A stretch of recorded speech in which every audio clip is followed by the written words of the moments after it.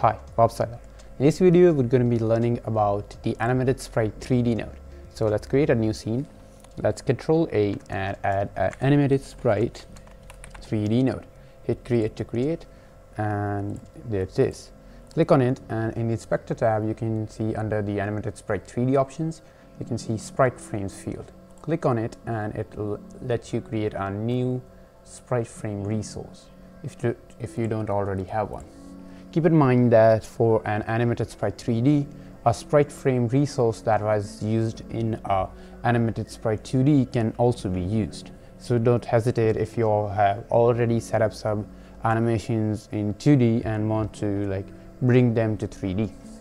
Okay, uh, since we have created our new sprite frame resource and after clicking on it, when it turns blue, you can see a new field appears. It's the sprite frames like window.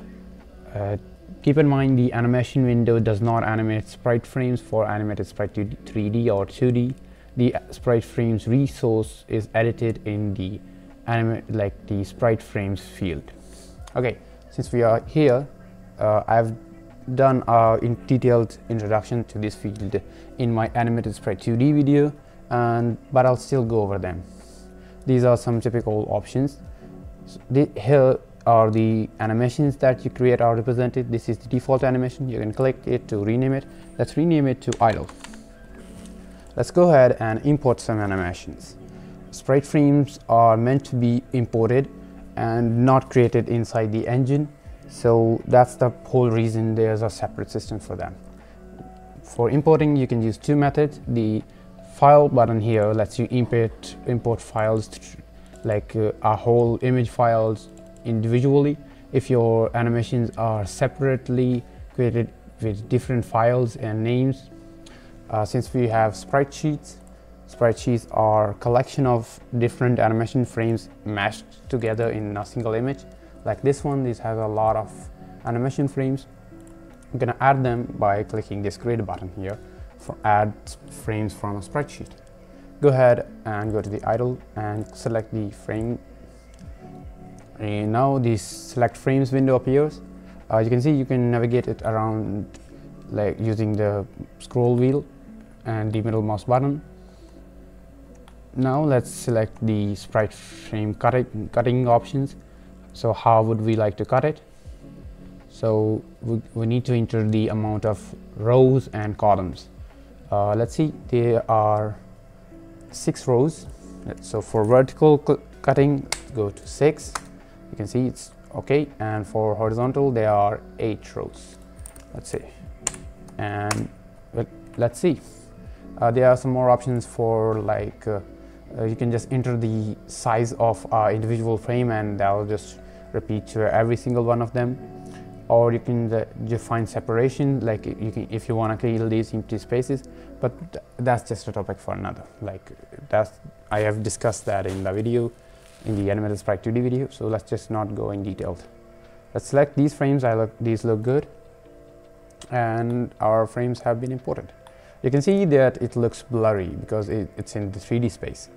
Uh, if uh, you have our animated sprite 2D, like if you have used it, uh, you know that there is an option for texture here and you change its texture rendering like filter.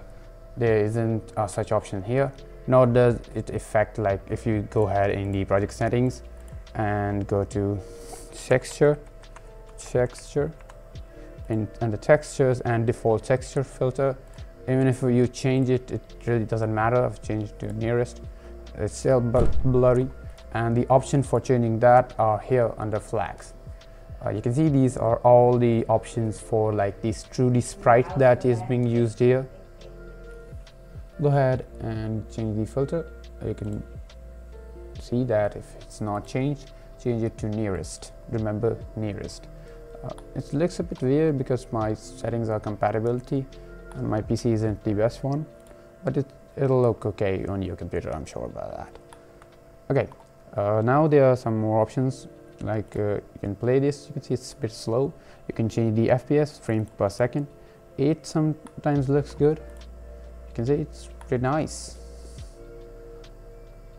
Okay, uh, there are some more options here under flags. uh, like uh, double-sided you can like click off and from one side it's invisible and from other side it's visible if the engine has the, a way to recognize which side we are facing uh, there should be a feature for like uh, using this side as separate like uh, one on one side there's this like animation using and other side is a separate one. For example like we can use one for here for back and this is for front. So it will be pretty cool. I'll try to figure out uh, if I find anything I'll let you know. There are some things like fixed size? And these are just to, to experiment around. Uh, the most useful one I think is this billboard option. You might have seen it in like video games uh, it's just that the sprite will follow the camera. You can see no matter where I rotate in the 3d space it'll always follow the camera. Uh, it looks a bit creepy when it also follows you like in the Z rotation. So just Y rotation looks cool. This way it'll only face like the Y rotation of the camera. So you can see it from top but it'll face in face the camera in other directions. So it's pretty cool I to be honest. You can use it for like creating trees or anything like that so I'll just turn it off now. And there are just other features like the pixel size. This is just to like scale the thing. I think it, uh, I made it uh, 0.1 is pretty fine. This is okay. And then there's just horizontal and vertical shape options here as well.